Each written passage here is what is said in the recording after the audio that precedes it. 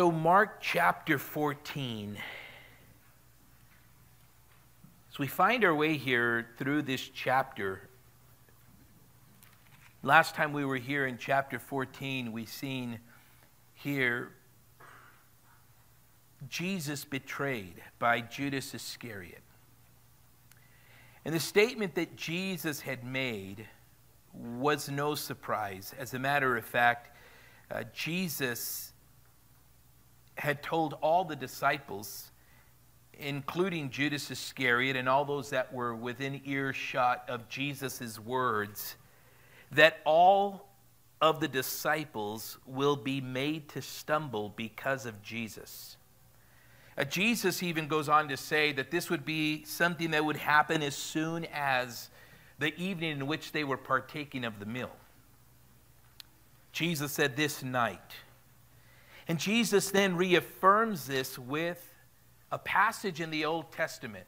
The passage is taken from the book of the prophet Zechariah in chapter 13.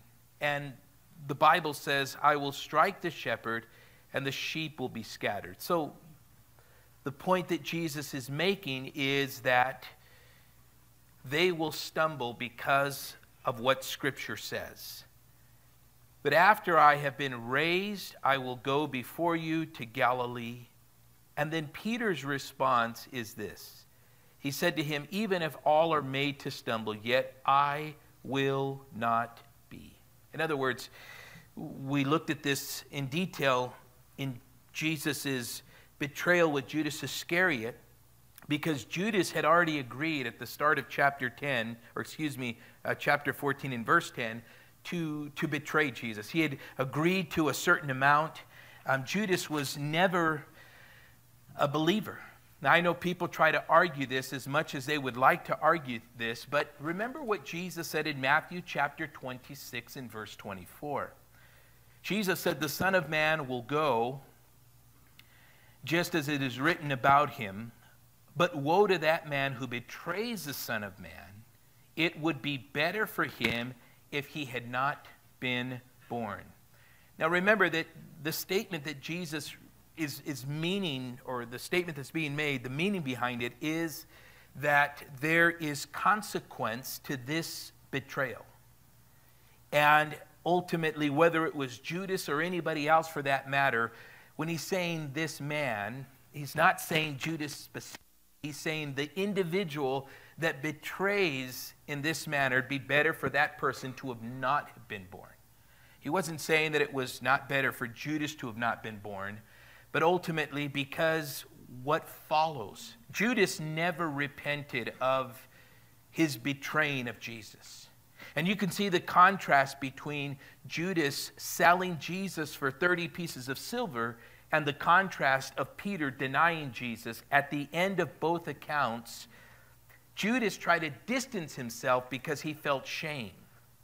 Whereas Peter wept bitterly, ultimately, he showed signs of repentance.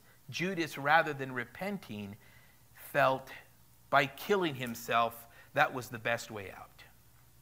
And when Jesus said it better it had been better for this man to have not have been born. He was talking about the judgment eternally that would come. So the clear, excuse me, the clear indication there is that Judas did not end up in a good place. Not because of the manner in which he killed himself, the fact that, or the manner in which he died by killing himself, the fact that Judas did not repent, and um, ultimately Judas was not a believer. And what we see here is in this statement alone is the clear picture of the sovereignty of God um, with the Lord knowing all things, but we also see the will of man working together with the sovereignty of God. So God had from ages past determined that Christ would be betrayed. He would be betrayed by Judas, that Jesus would also die on the cross for our sins, that Jesus would also be resurrected from the dead. These are not things that just started to come about as they happened. These were things that God sovereignly purposed, and this is the plan of God. So, this is why Jesus said, He said He would go just as it is written about Him. Nothing would stop the plan of God to provide salvation for mankind. And, and even in this statement alone, when Peter, you know, said to him, even, even if all are made to stumble, yet I will not be. Well, ultimately, what Peter is saying, though we see the fidelity of Peter here, his desire is to follow Jesus wherever, even if it means that, you know, he would die. But though that's great and all, remember, zeal should never supersede what God's word says. And I think a lot of times this is where we learn a lot. You miss a lot when you're overzealous because at times there are people that support zeal rather than the word. What Jesus is reaffirming here in the statement of, of this denial, uh, with that all would, would be made to stumble and ultimately Peter would deny him, this is all a part of God's sovereign plan. So to say otherwise is to speak against the sovereign plan of God. Jesus then reaffirms and he says, This is not just a good idea. Jesus says, This is what has been spoken of in the scriptures. So, no matter what, Jesus would have been betrayed by one of those who followed from the 12 of the disciples of Jesus. And then we also see, too, that Jesus is saying, All will be made to stumble because the scriptures say so. For Peter to say, They might, but I will not, was ultimately Peter saying, Jesus, you're not being truthful. And then Jesus responds in verse 30 with, Assuredly I, and I believe I shared this with you guys last time. Some translations will say verily, some translations will say truthfully. Assuredly, verily, or truthfully actually means truthfully. And what Jesus is saying, no, Peter, this is truth. This is truth. I say to you that today, even this night, before the rooster crows twice, you, Peter, will deny me three times. Now, what's interesting here is I would say that perhaps maybe even the disciples still maybe in a sense confused. Because remember, they all asked, Is it I? Is it I? When, when Jesus said that in verse 18 of chapter 14, Assuredly I say to you, one of you who eats with me will betray me. And they began to be sorrowful and to say to him, one by one, Is it I? Maybe that's what stirred Peter's heart to say, I won't, you know, stumble because of you. Maybe to, in a sense, in his own passion and his own zeal, to say, I know it's not me who's going to betray you. We often, and if that is the case, we often have a sense in our flesh to make claims about our lives as Christians that are not truthful. That is a reality. The truth of the matter is that what God's word says is truth.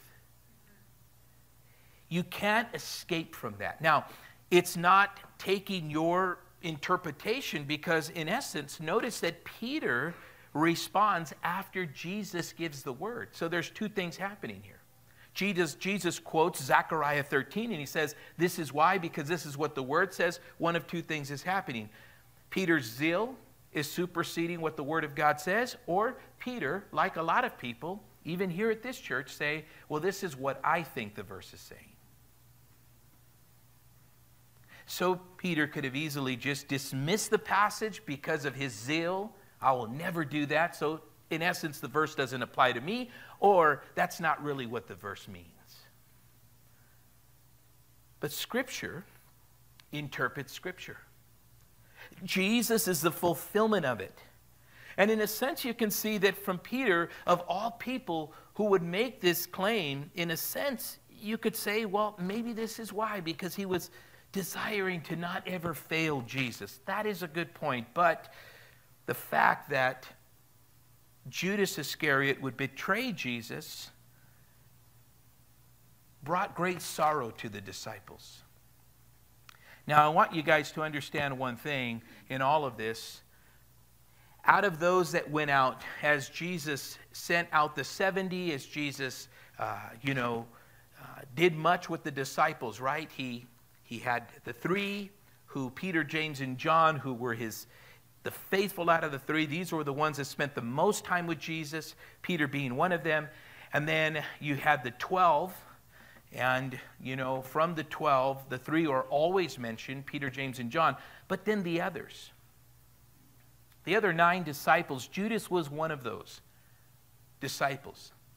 Now, oftentimes people say because, you know, that when Jesus sent out the 70 and they came back with these praise reports, Jesus says, you know, now your names will be written in heaven you know, in that regard. In other words, recognition. I think that has a lot to do with the binding and loosing. Because at this point, I don't believe the disciples were born again. And I can argue that from John's gospel in chapter 20 when Jesus said to the disciples, Receive the Holy Spirit. Prior to that, they had yet to receive him. I believe that's where the disciples became born again. They didn't need to respond in that way because prior to that, Jesus was with them. He was there. This is how they were able to go and perform miracles in Jesus' absence, and they came back with this praise report. How were they able to perform miracles if the Holy Spirit hadn't even come down yet, like in Acts chapter 2? Because Christ was here on this earth. And it wasn't until after his resurrection that he tells them, now receive the Holy Spirit. That is fitting for all have to come through the same means, even the disciples of Jesus. They have to believe who he is.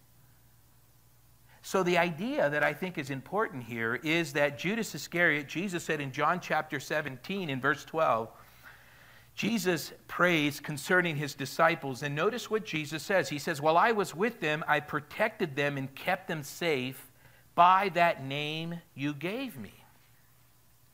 None has been lost except the one doomed to destruction so that the scriptures would be fulfilled. Judas never called Jesus Lord. He always called him Rabbi. And Jesus also said concerning Judas that he was greedy, that Jesus knew things about Judas, his heart. He exposed him. He said that he was also taking from the money box, right? So Judas, even though he was among the 12, he was stealing and he was greedy. And remember, it was Judas out of the 12 that said that costly ointment that was poured on him in his anointing before his death. It was Judas who said, Why did we waste this? So he felt that that costly oil was a waste. If Jesus would have been his Savior, if Jesus would have been his Lord, if Jesus would have been his Messiah, he would have never uttered those words of waste. But because Jesus wasn't, he didn't see even a fine, costly jar of ointment was worthy. So we see the value that he had in Jesus. He really placed no value in Jesus. And this is why, when it was further reaffirmed, when he agreed to betray, Jesus for 30 pieces of silver, the price of a gored slave or to replace a slave, I'll take 30 pieces of silver for him. He just said he, he's not worth this, you know, oil of anointing and he's not worth more than a gored slave or a replaced slave. So I think this further then confirms what we see here. So, what we see in Luke chapter 9, in verses 1 through 6, when Judas is included in this group that proclaimed the gospel and performed miracles, here's one thing we can take from this Judas had faith, but it was not a true saving faith. Judas was never saved. But for a time, he was a follower of Christ. This should really, really remind us and stir our hearts because Jesus even said the same thing. Jesus said in Matthew 7, Not everybody who calls upon my name, Lord, Lord. He even talks about miracles being performed in his name, prophecies, all of these things. He says, they're not going to make heaven their home. So Jesus is saying that the same type of individuals can be a part of the body of Christ today. Now, the beauty of it is that if there are those in the church, which there are, or perhaps those that have not come to a saving knowledge of Jesus Christ, the beauty of today is there's still hope. That's why messages like this have to be preached and taught so that others can sit there and really ponder what is the purpose of God's will for my life. What am I doing? Am I yielded? Am I submitted to it? Or am I just dancing around it? Do I not see it as something that should be important for that matter? And so we see here Peter, on the other hand, had faith in Jesus. Peter even demonstrated a greater faith than all of the other disciples. Maybe this is another reason why we see Peter here responding in this way. But ultimately, all of this we see that Judas betrays Jesus, Peter will deny Jesus, and then as Jesus goes to the you know pray in the garden of Gethsemane, as Jesus there is betrayed. We see at the close of this encounter in verses 51 and 52. Scripture's fulfilled. Judas betrays Jesus. Jesus is arrested. The disciples scatter. According to Matthew's gospel, Peter tries to respond to Jesus' arrest by cutting the ear off one of the servants of the high priest. And then what does Jesus do? He heals that servant. And yet, verse 51 and 52, in a sense, this is kind of like reaffirming what Jesus said that all would be made to stumble. Now, a certain young man followed him, having a linen cloth thrown around his naked body. And the young men laid hold of him. In other words, this is none other than the author of Mark's gospel, John Mark. And John Mark here is apprehended. Perhaps because of the commotion. It's believed, some believe here as they kind of read the text and the story here, why the detail here? Well, one, because he is the author, but two, it shows that, you know, this place of where the upper room is, uh, where they were gathering, where they were meeting, most likely could have been at, you know, uh, John Mark's uh, mother's home. And ultimately, we see here that the Garden of Gethsemane was not too far from this. The commotion, it was, it was in a sense, it stirred him. Perhaps, you know, he's not going to be in a linen cloth thrown around his naked body at night out there. Nobody does that. The, the cloth here that it's speaking about is consistent with, um, you know, pajamas that you would wear to go to bed.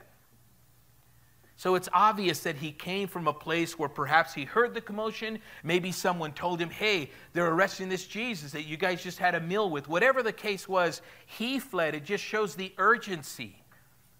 And it shows here as he fled there, they apprehended him, they grabbed him. And of course they would. They just had one of Jesus' disciples chop the ear off one of the servants of the priest. And it says here that John Mark says he fled and he left the linen cloth and fled from them naked. Now, this does not mean that, you know, he was physically naked, meaning what? That this linen cloth that would cover him as pajamas, let's just use it in that term, uh, was left in their hands and, and, and he fled probably with just underclothes on. That's the picture here.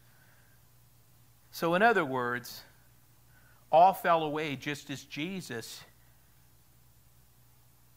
said they would. They fell away, but Jesus fulfilled his calling.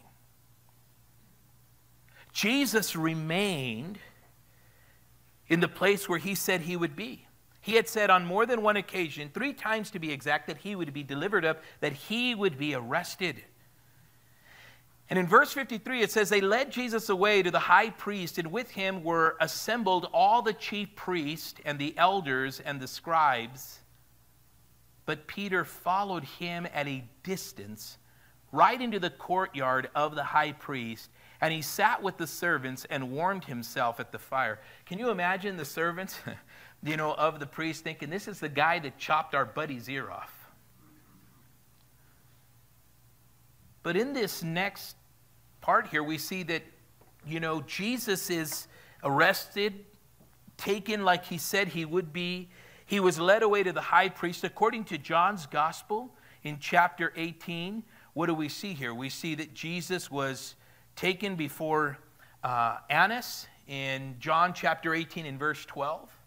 And, and this was his trial, really, was before the religious men of Israel, the Jewish religious authorities, if you will. And this preliminary hearing by Annas was important. Now remember that Annas was not the high priest, his son in law actually was. And you guys know him by Caiaphas. Most Bible scholars know him as the high priest Joseph Caiaphas. And John's gospel says that the reason, I would say, when John's gospel says that he was taken to Annas, this was Caiaphas' father in law because Annas was expelled as high priest by the Romans. But he still had much respect and authority among the Jews. So, this preliminary hearing that he has, he's, he's taken to him there. And then we also see that there is an arrangement now for him to go before Caiaphas. And this is where we are right here in verse 53. So he already stands before Annas, and now he's before Caiaphas, the high priest, and also the Sanhedrin. And this is at night. Now, some have speculated that, uh, you know, this whole kangaroo court, and it was, but, but some have speculated there is so much violation of Jewish law here. But in essence, I would say that this was more of a push to get Jesus to trial quickly and condemned to death before Shabbat. Because that was their aim. Because they could not do anything during that high holy day. They would have to wait a lot longer. And if they did anything after Shabbat, this would most likely, what was one of their fears? that if they apprehended Jesus, even apprehending him would cause an uproar with the crowds. Now remember, this was during the feast of Passover. And according to the Jewish historian Josephus, well, he says close to 250,000 sheep were sacrificed during this entire feast time over a period of several days, right?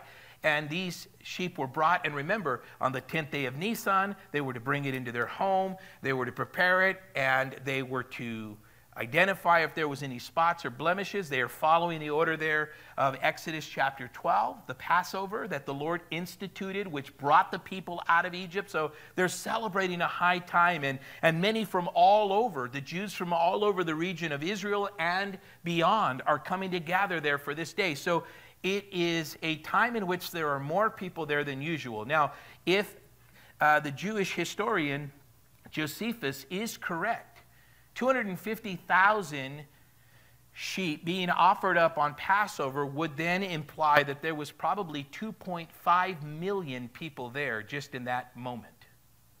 So you could imagine they've already considered him a prophet. Remember, the people marveled at the things Jesus said, the miracles he performed. Many of the people in the crowd benefited from Jesus' ministry. So this would, this would cause an uproar. And remember, you know, the people of Israel, the high priest, well, they were not in charge. Rome was. This is how Jesus makes his way to Pontius Pilate, because Pontius Pilate is actually, actually over Judea. He's over that area of Israel. And he kind of just makes sure that, you know, Herod doesn't get out of line. Enemies. Because Herod didn't care for Pontius Pilate, and Pontius Pilate didn't care for Herod. And yet, this high time would have caused probably one of the worst uproars, and this is what they were trying to avoid. So, all of this, everything was working against them. We have too many people here. We got to take them away by night. We do it under the cover of darkness. It won't draw too much attention. And all the while, they think they got this really good plan going on. But because of God's sovereignty, because of His word, because of the truth of this word, listen, guys, everything was going according to plan. Jesus was not caught off guard at all by anything. So, as sneaky as the religious leaders were being, and even to the point where they did not even take him to uh, the place that is known the seat of the hewn stone. They didn't even take him there. They take him to Caiaphas' house. they do the trial at the high priest's house, something you do not do. But everything begins to fall apart. Why? Because their schemes and their trickery, and I think this is important for us to understand, their schemes and their trickery was not what killed Jesus. God used their wickedness the Father strikes the Son using the evil intentions of the religious leaders and their actions, their sinful actions against Jesus. And the Lord, the Father, strikes Jesus. And notice that we see here that this is what he does. So they really feel we got him, but ultimately Jesus is like, no, we got you.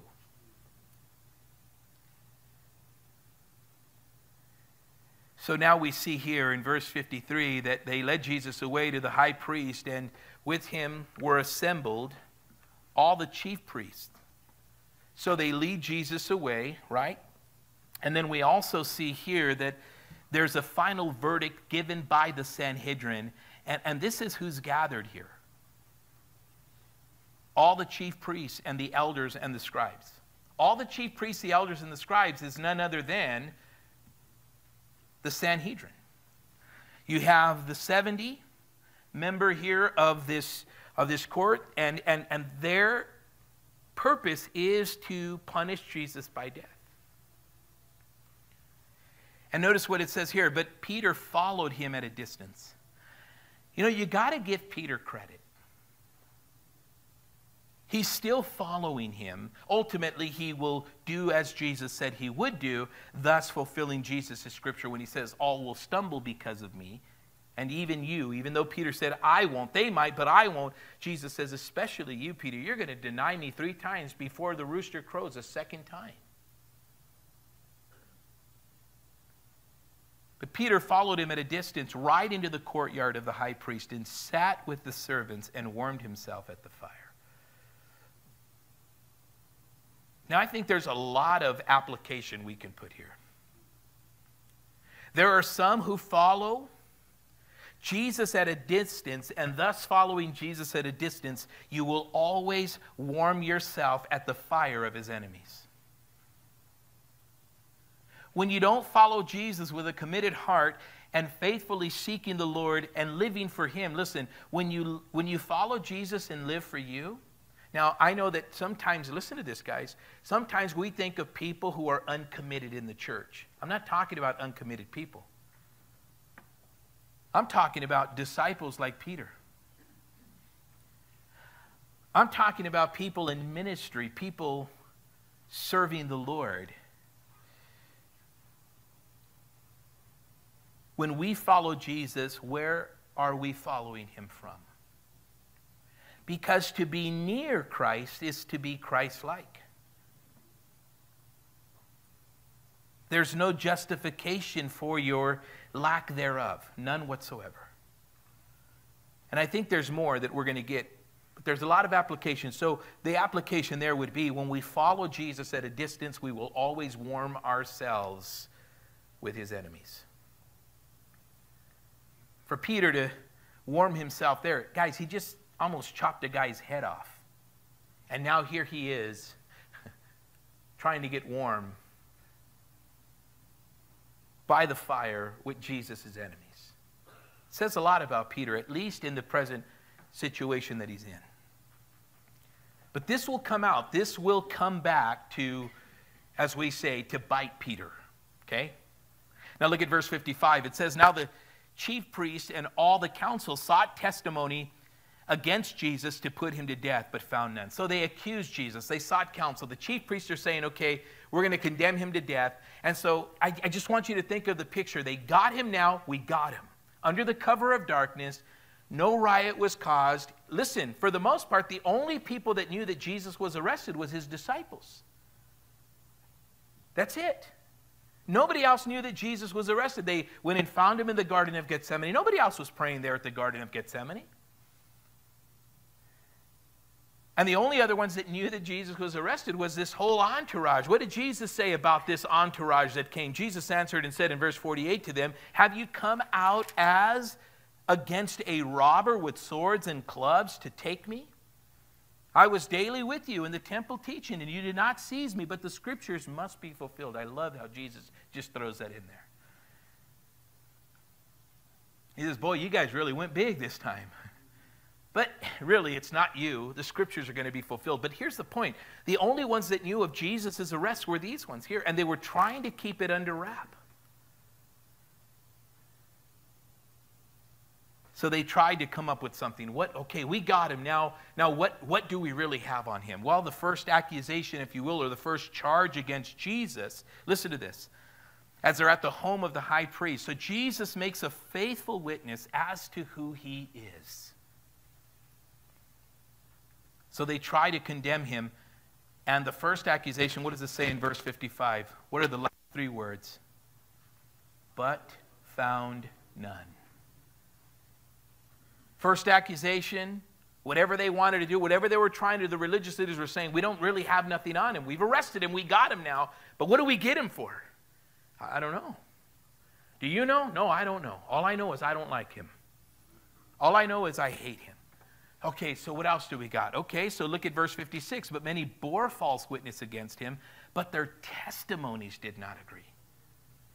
We might not have something, but, but listen, some of the other ones might. So let's, let's get some of them. Hey, you, you remember, weren't you upset with us? Yes, yes. And, and, and what was this? What, what were we mad at him about again? Ah, let me, let me see here. Let me think. You know, do you remember? Well, I, I kind of do. And you see that their, that their stories did not align. Their testimonies did not agree. Why is this important? Because it says when it says their testimonies did not agree, in the original language, it means their testimonies were not consistent. They were not consistent. You need a consistent testimony. The Bible gives us an understanding on having a consistent testimony. The Bible says in Exodus chapter 20 and verse 16, You shall not bear false witness against your neighbor Deuteronomy uh, chapter 19. It talks about there being two or three witnesses. We'll look at this a little bit later here. But we see here that there was a requirement by law for testimonies to agree. If a testimony could not agree, then guess what? The accusation fails. Second accusation fails right here. Verse 57 says, And some rose up and bore false witness against him. when they seen that the religious leaders didn't have anything against him, and when they seen that others tried to put something together, listen, the law was not in their favor. The law was not in their favor. As a matter of fact, look at what Deuteronomy 17 says concerning this. Deuteronomy 17. And it talks about, you know, what they're doing here. Look at what it says. It says, Whoever is deserving of death shall be put to death, listen to this, on the testimony of two or three witnesses. He shall not be put to death on the testimony of one witness. On the testimony of one, it, it, it doesn't work that way. Look at this in Deuteronomy 19, as I was stating earlier in verses 15 and 16, it says, One witness shall not rise against a man concerning an iniquity or any sin that he commits by the mouth of two or three witnesses, the matter shall be established. If a false witness rises against any man to testify against him of wrongdoing. Notice something here that you cannot bring up an accusation unless you have two or three witnesses. You know, Jesus actually used that against the religious leaders in one of the because you know they they hated jesus. And, and and i'm sure that they remembered that in the story of the adulterous woman in john chapter 8 and remember when the scribes and the pharisees they brought to him a woman caught in the act of adultery. Now remember in deuteronomy 22 in verse 22 it says when a woman is caught in the act of adultery it says that you bring both the man and the woman to be what stoned to death so Jesus is teaching a sermon, and the same religious leaders that arrested him want to use the same law against him that they're trying to use against him, but they want him to fumble at the law. And this woman was caught, and they set her in his midst. Can you imagine this woman caught in the very act? They took her just as they found her. And threw her in the midst of Jesus, and they said to him, Teacher, this woman is caught in adultery in the very act. And I love, look at what they say here. Now, Moses in the law commanded us that such should be stoned But what do you say? This is what they said, testing him, that they might have something of which to accuse him. But Jesus stooped down and with his finger he wrote in the ground as though he did not hear. Now, this whole picture of Jesus stooping down and, and writing in the ground, you know, the Bible says, once again, to not bear false witness against your brother. But you know what's interesting is that prophecy in Jeremiah that the names of those that forsake him shall be written in the earth. And what's interesting about this here is I believe that this is what Jesus is fulfilling the prophecy of Jeremiah. As he stoops down with his finger, it says it very clearly here, as though he did not hear them. So they continued asking him, raised himself up and said to them, He who is without sin among you, let him throw the first stone. And he stooped down again and wrote on the ground. And those who heard it, being convicted by their conscience, went out one by one, with the oldest to the last. And Jesus was left alone. Now, I love this here. Why? Because Jesus being left alone here, they had nothing that they could bring, any accusation. And notice Jesus' response. And this is important that it says he was left alone. Jesus raised himself up and he saw no one but the woman. This is really important. He saw no one. He was left alone. This is really important here. Why? Because according to the law, there needed to be two or three witnesses. Now keep in mind, it's eyewitnesses. When Jesus raised himself up, he saw no one but the woman, and he said to her, Woman, where are your accusers of yours? Has no one condemned you? And she said, No one, Lord. She's saying, according to Deuteronomy 19, there's no one here. And then he says, Well, neither do I condemn you. Go and sin no more. Because Jesus was not a witness of it.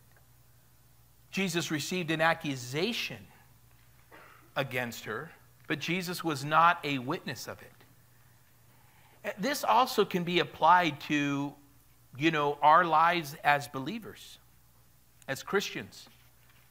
You know, we are called to live a certain life as, as believers, and especially a lot of times we find ourselves, you know, having to practice such things. Notice what the Bible says in 1 Timothy chapter 5. This is to the church and to the Christian. The same principle applies here. It says, Let the elders who rule well be counted worthy of double honor, especially those who labor in the word and doctrine. For the scripture says, You shall not muzzle an ox while it treads out the grain. Don't worry, I'm not going to ask for a raise in my salary. But he also says in verse 19, Do not receive an accusation against an elder except from two or three witnesses. You know the problem today in the church is that there's no two or three witnesses. Accusations are made about people by gossip. That's it.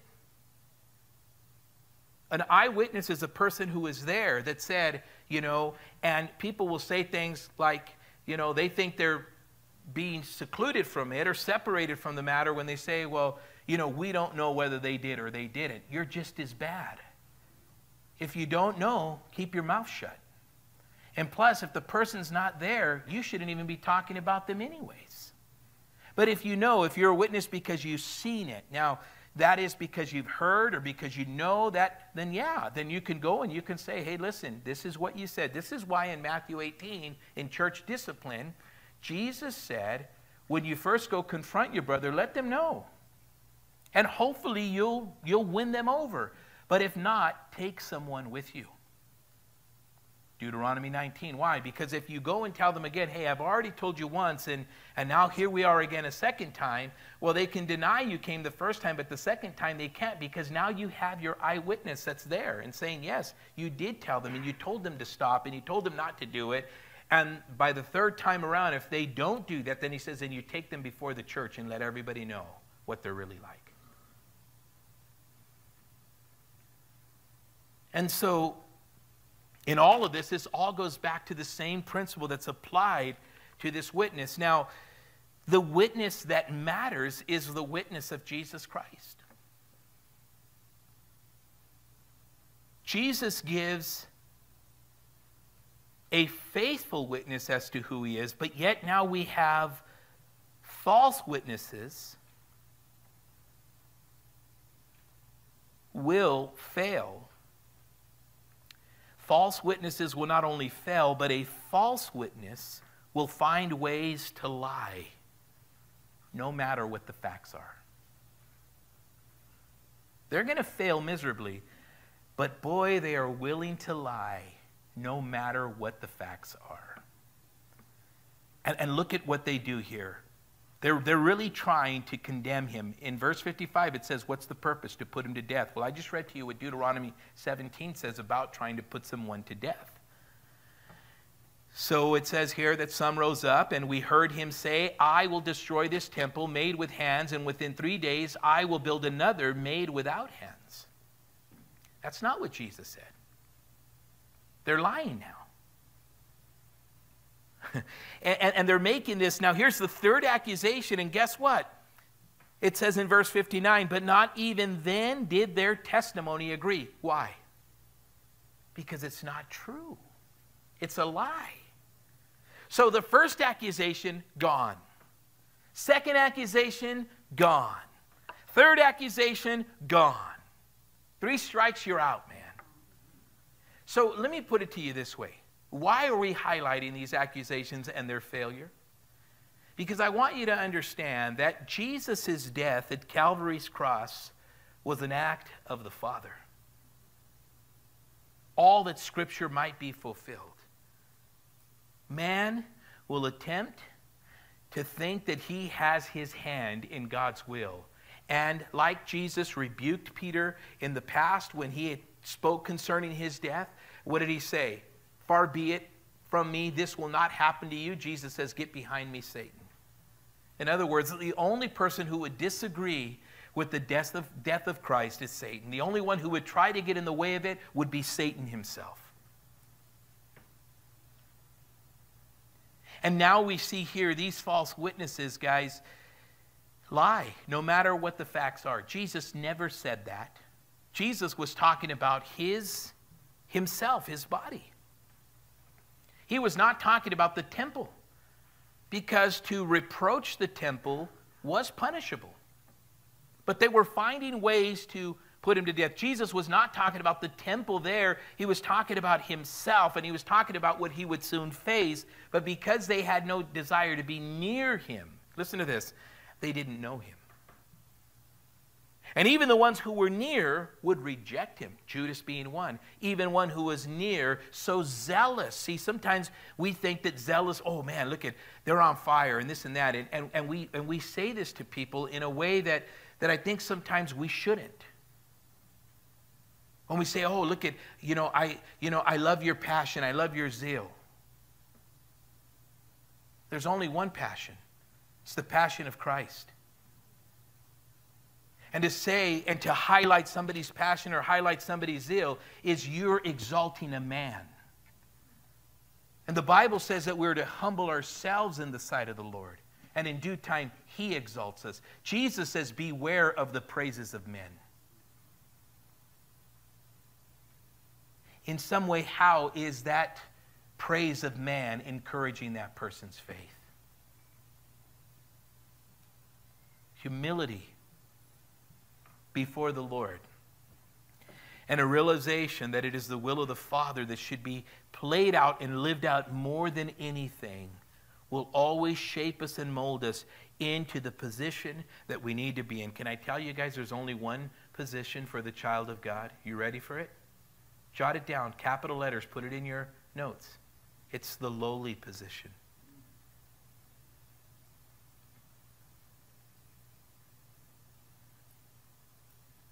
Listen to this. The lowly position. What did Jesus say? This is what Jesus said about the lowly position.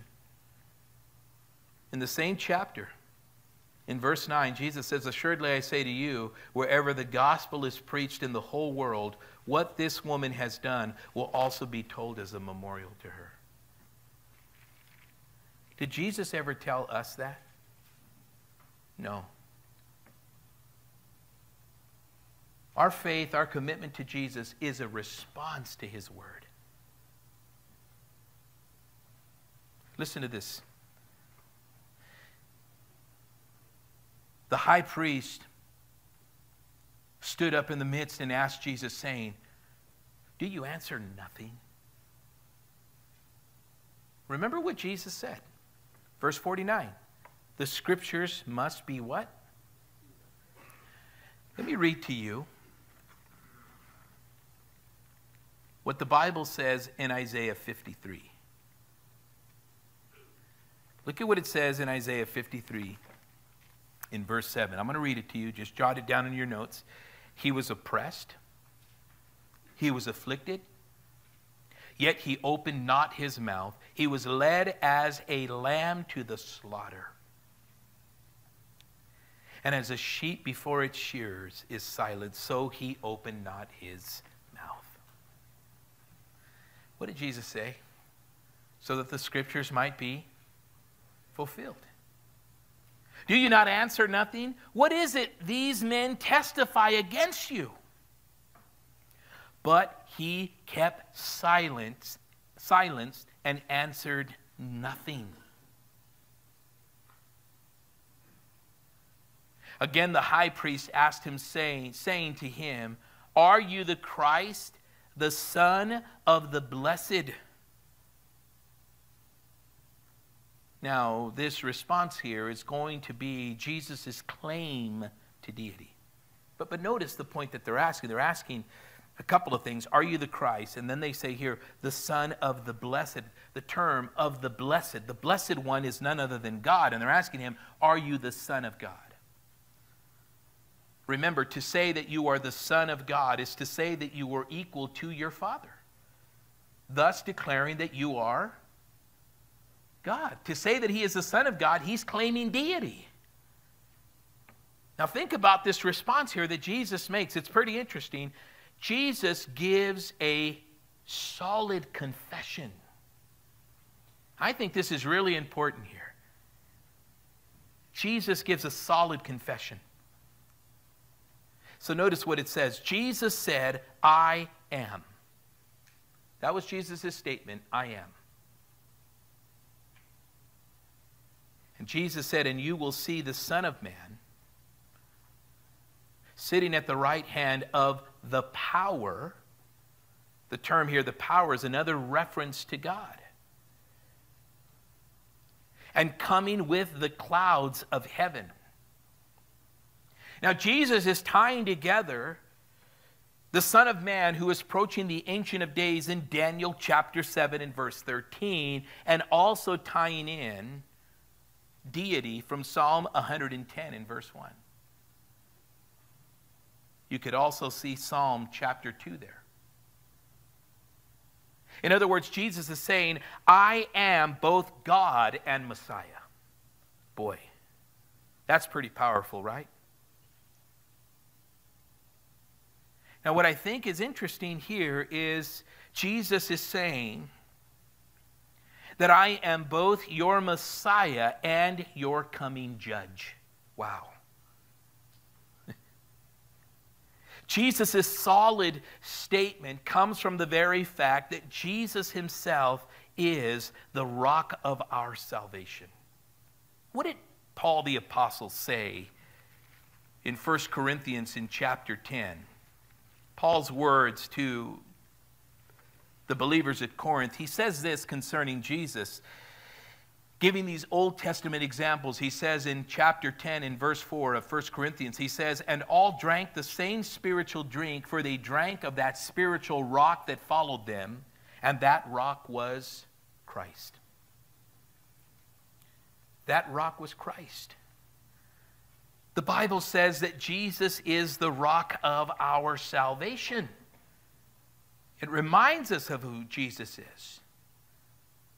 And we have to understand that Jesus speaks concerning this rock, concerning himself as well. Remember, Jesus gave this parable. And Jesus talked about being this rock. And he warned, he says, listen, if this rock falls on you, it will what? Crush you. Rather, Jesus says, fall upon this rock so that you can be broken rather than the rock falling upon you so that it breaks you, crushes you, and destroys you. And in all of this, Jesus was speaking concerning himself.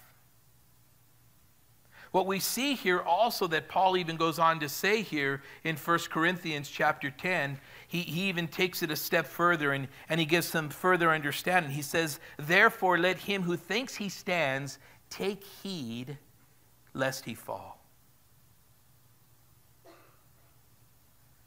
Well, the only way you and I can fall is if the rock becomes a rock of stumbling and offense to us. But what we see here is that Jesus' solid statement is made in that Jesus is that very thing. 1 Corinthians chapter 3 in verse 11 clearly says that Jesus is the foundation upon which the church is on. Acts chapter 4 verse 11 says that he is the chief cornerstone. Ephesians chapter 2 and verse 20 speaks concerning the foundation that is Christ in Christ alone. Remember what Peter says in chapter 2 of 1 Peter in verses 6 through 8? That not only is Christ the chief cornerstone, but Peter even goes on to say that we are living stones being fitted together. How do we become these stones? Being fitted together because the chief cornerstone. And if we need any further encouragement of Isaiah 28, the prophet Isaiah speaks concerning this very truth too about Jesus. This is a, a prophecy concerning Jesus fulfilled in the person and work of Christ. But notice what it says here. He says in Isaiah chapter 28, Therefore, thus says the Lord, verse 16, the Lord God, Behold, I lay in Zion a stone for a foundation, a tried stone, a precious cornerstone, a sure foundation. Whoever believes will not act hastily. And this is what Paul the Apostle used in Romans chapter 9. He tried to encourage the believers in Rome and tell them, hey, listen, this is who we stand upon. Our faith is in Christ. Christ is our solid rock, the rock of our salvation. What does this mean? Jesus is the foundation upon which we stand on that will not break. Jesus also is solid. The statement concerning Christ is praiseworthy. Jesus alone and nothing else compares to who God has made to be that rock, that solid rock. Romans chapter 9 Notice what the Bible says here. In verse 33, as it is written, Behold, I lay in Zion a stumbling stone, a rock of offense. Whoever believes on him will not be put to shame. And notice in chapter 10 of Romans, in verse 11, for the scripture says, Whoever believes on him will not be put to shame. Now, I think this is really important. Why? Because it gives us the solidarity and understanding of Jesus' statement. Jesus is clearly stating here that he is none other than God. You might say, well, how do you know that for sure? Look at verse 63. Then the high priest tore his clothes and said, What further need do we have of witnesses? There's no need now to bring witnesses against him. This came out of his own mouth. You have heard the blasphemy claiming to be God. What do you think? and they all condemned him to be deserving of death. Notice how he rips his garment. This is a sign of mourning. He is their judge and he is their Messiah. Then some began to spit on him. This act of insult, if you've never been spat on, and Thankfully, you probably haven't, but anybody that has, you know the degrading humility. The Bible says in Numbers chapter 12 and verse 14 and Deuteronomy 25 9, this is an act of insult. Deuteronomy chapter 30 and verse 10. They blindfolded him. They beat him and say to him, Prophesy. You know, this is a very hard text to work through. But I think sometimes the church today reads this verse in verse 65 and, and, and they don't really take into consideration that it gets far worse than this. It's funny how today we can sit in a Bible study like tonight and we take no offense to Jesus being spit upon. Oh, but if somebody spits on you tonight, boy, you'll go out of your way to let everybody know. Because you being spat upon is more important than Jesus, who was spit on for you and degraded for you. You see, Jesus facing the religious leaders was spit upon. They covered his eyes. They beat him. The Bible says in Matthew's gospel, they took a rod and they were hitting him on top of his head with it. Put a crown of thorns on him. You know, they did all this. They, they, they,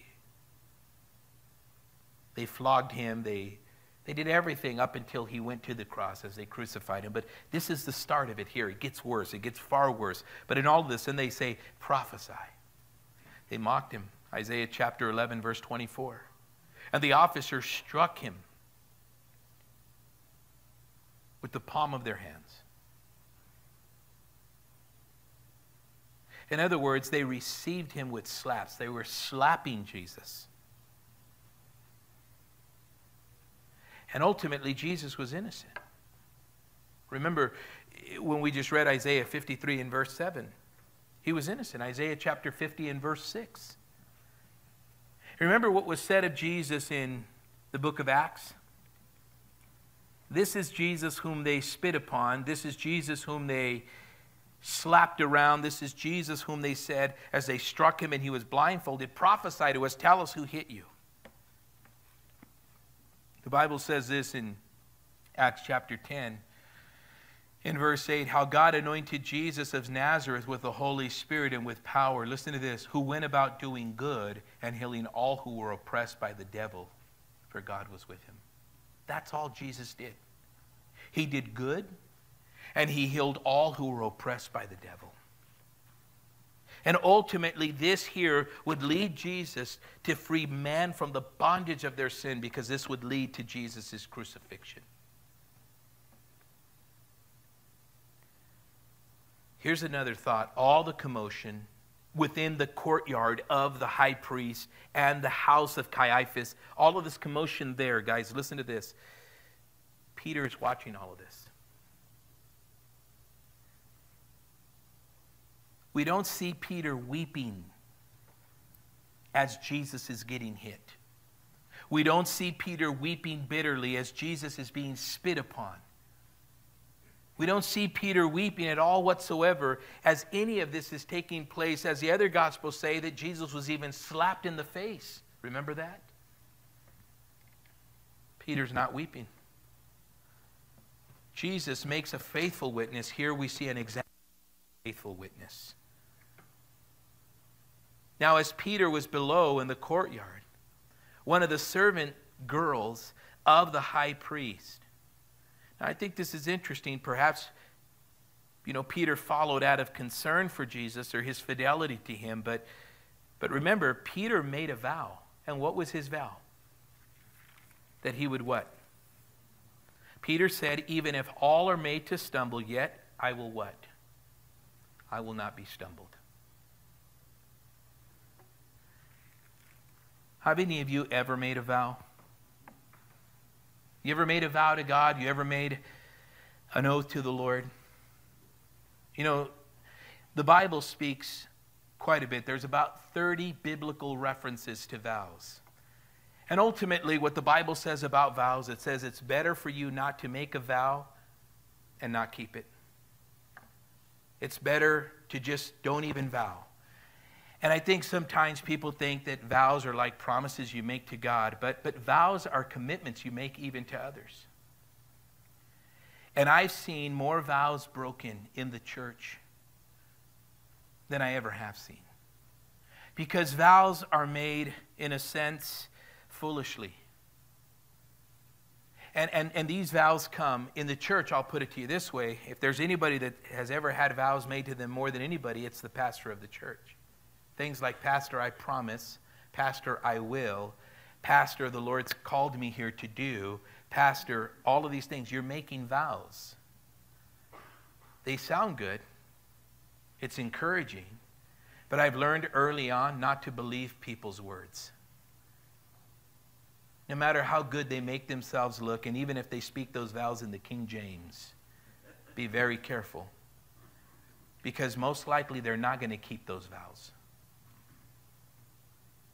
and then they will then they will mix these vows up and change them any way they want because they were foolish vows they were rash vows and you want to know what? Here's the point that i will say. When i've made vows to the church my vow was to teach the bible faithfully chapter by chapter verse by verse whether it's a thousand people or one person. And i've set my heart to do so I set my heart to do that, to keep those vows, or that vow specifically, before the Lord. And, and to teach faithfully. Now, there are vows that I won't make because I know most likely I probably won't keep it. So I don't make the vow. There's things I say to the Lord and, and, and, and things that I've prayed to the Lord, and they're commitments I've made to God, and I keep those things. Sometimes people don't keep vows because of sin and they think that, oh, well, you know, I sinned and I blew it. No, you repent from your sin and you continue to keep the vow that you made to the Lord. It might take a little bit longer because maybe there's a process of restoration depending on the sin, whatever the case might be. But if you made a vow, and especially, listen, for those of you that are sitting here tonight and those that are watching in this broadcast, here, here is a great opportunity for you to think back and think of the maybe the commitments you've made to leaders in this church or other brothers and sisters in this church or to me or to the Lord as you were here. Listen, and if you faltered and if you failed, you can't blame Pastor Dave or the leaders or anybody else because things didn't work out your way. You still made a vow, you still have to keep it. What you need to re- do is repent and you keep that vow and you honor the Lord. Vows are not made because it's comfortable. Vows are not made because you're gaining something from it. Vows are never made. This is why a lot of times we always tell people, hold on, relax. And people get upset with us. They're like, oh, well, they don't, they don't want me here. They don't want me a part of it. No, we just don't want you not to keep that vow. Because it requires more than just accomplishing something. A vow is not, hey, I'm going to take you out to lunch after service and then you go and you just take them out to lunch. There's, there should be a meaning behind that. What's the purpose? Just to fill their stomach? No, the reason why you're probably going to go to lunch is because you desire a relationship with that person. You desire to pour into them and disciple them. That's not something you do over one meal. When you make a vow to someone, it's making a commitment, especially here. And you know, I'll be the first to tell you guys, I'm not saying I'm perfect. But God, God has always dealt with my heart in the area of commitment. And I will say this with all sincerity of heart. I'm the first one to tell you that I'm not the perfect person in the area of commitment, and God has dealt with my heart. But I'll tell you, I see less commitment, more vows made that are not kept in this fellowship as a pastor than not. And I'm afraid there are too many Peters that are just following Jesus at a distance. And there's too many people playing the role on their part, playing the victim as if they're more important than Jesus and the gospel and the sake of the ministry. And there's more people concerned with their circumstances and situations than concerned with the gospel. That there's people that still need to be saved and discipled. There are people that want to go and do great things for the kingdom, and they haven't even impacted the community or even the fellowship that God brought them in. Because when you're building your own kingdom, the community and the fellowship that Christ has brought you to means nothing to you. That's following Jesus at a distance. That's warming yourself with the affections of your flesh and the things that gratify you. I'll, I'll take it a step further. We make rash vows like Jephthah did in the book of Judges. And what did he say? Lord, you give me this victory. Lord, you give me this victory, and I'll give you the first thing that walks out of my house. God gave him the victory. His daughter came walking out of the house. And as he went before the Lord, the Bible says Jephthah kept his vow. It doesn't say what he did or how far he went, but he said it says that he kept his vow. And I would say that Jephthah did not sacrifice his daughter in giving up her life, but he did sacrifice his daughter to the Lord. Because she said, Let me go and mourn. And what did she mourn? That she would never marry. She didn't mourn that she was about to die. So I know she was not sacrificed to death. What a foolish vow. What did Jephthah miss out on?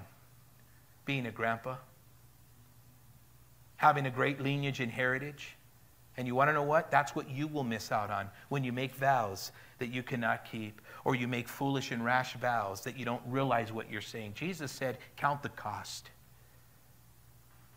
Count the cost. Christianity is not a game, it's not a club, it's not a clique.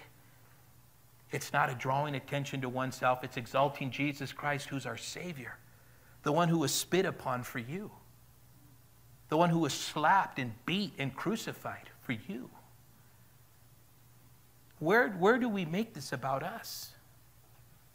Where, where do we make this about who we like and who we don't like, and, and, and, and that, that, that it's about, you know, what we got going on versus, listen, if, if, if we as a body here would be more united on winning Fontana for Jesus, we would be struggling to keep this place open because it would just be too many people coming. But what are we united on? Have you ever asked yourself that question? Have I united my heart with the ministry? Listen, everything I'm sharing tonight is found, I believe, just in this story with Peter. Peter made a vow he couldn't keep. How often do we make vows we don't keep? And listen, God didn't call me. One of the fruits of the Spirit is being a vow finder, okay? God didn't call me to be a vow finder. But listen, I can name a lot of times people made commitments to me, even people sitting in this study tonight, and have not kept them. But I'm not Jesus. You don't worship me. That's why I don't do that but God will hold you accountable to it. So that's why, what do we do? You say, oh, wow, yeah, that's true. Listen, you know. You know what you've done. Peter knew very well what he was doing here. Thank God that Peter's story doesn't end with making a vow he couldn't keep. Because Jesus vowed to die for our sins and he kept it. Peter was able to be restored, even his vow be renewed. And Peter repented, and guess what he did? He lived the rest of his life keeping that vow to the Lord his God. But we have to be told the reality. You have to be told. I have to be told you're in sin. Even further, you're a liar. You lie, you can't be trusted. And if you lie in these little things, I can only imagine what other things you're lying in and what you're lying in outside and what you're lying in at work and what you're lying in among people. And it might not even be in word, it could be in thought, it could be in action, whatever the case might be. We are all sinners in need of a Savior, and nobody's been perfected. And daily we have to, what do we do? Throw ourselves on the rock of our salvation so that we can be broken. That when we say things, Jesus said, let your yes be a yes. and your nay a nay. Jesus is not talking about, hey, if you say something, accomplish it. No, Jesus is saying, live your life in such a way that when you tell someone yes, they never doubt your yes. When we said yes to Jesus, how many of you here said yes to Jesus? Have you kept that vow to Him? Oh, yeah, I'm here. Hmm. Let's be real, church. Do you not want God's word to increase your faith and correct you? Yes or no? This is the road we got to walk through. Look at what he did. Peter saw, she saw Peter warming himself. She looked at him and she said, You were also with Jesus of Nazareth. Wow. But he denied it, saying, I neither know nor understand what you were saying. And he went out on the porch and a rooster crowed. Wow. Some will say of Jesus, I don't know what you're talking about. That's what Jesus said to her. I neither know nor understand what you are saying. Sometimes we say that because going back to a vow that we made, we couldn't keep. We go because we're following Jesus at a distance. We're not solid like Jesus. We don't have a solid rock faith like Christ. Listen, guys, there's somewhere Peter's life is, is a lesson that we can learn from. Some will say, I don't know what you're talking about. They have no desire to face, or perhaps Peter even looking and saying, I don't think I can take being spit upon in my face and smacked around like Jesus. I don't know what you're talking about. Jesus or excuse me, Peter follows Jesus at a distance, warms himself at the fire of Jesus' enemies, and even more so, we see here Peter distancing himself further and further. Can I tell you guys, the further you walk away from Jesus, the worse it gets?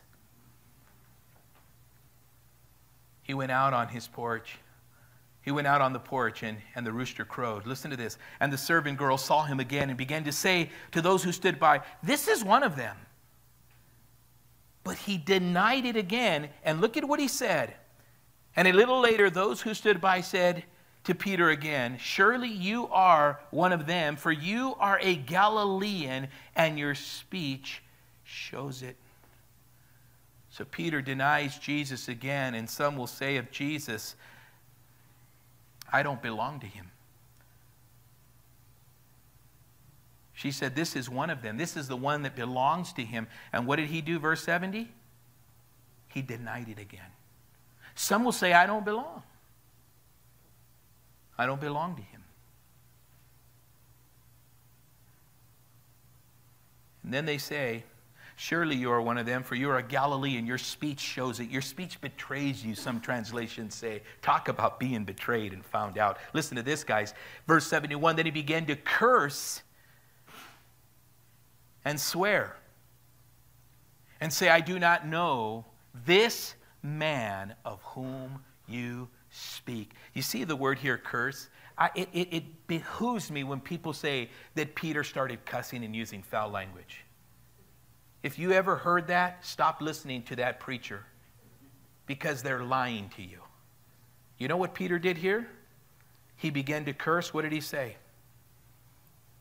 Peter invoked a curse upon himself. You know what Peter said?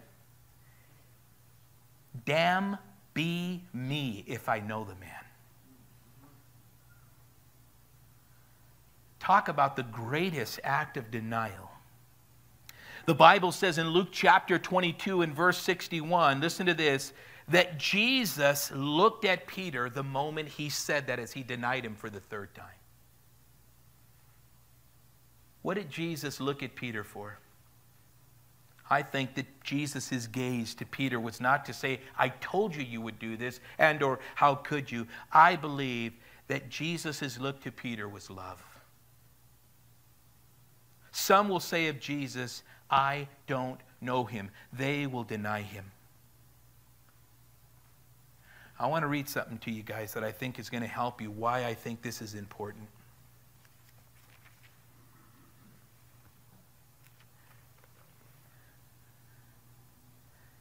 When Jesus came into the region of Caesarea Philippi, he asked his disciples, saying, Who do men say that I, the Son of Man, am?